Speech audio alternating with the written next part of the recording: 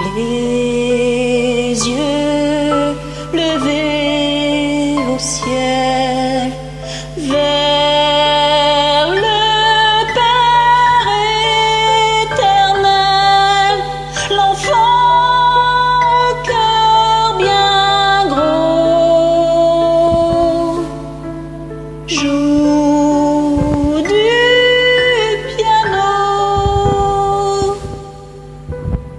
Sa maman est partie dormir.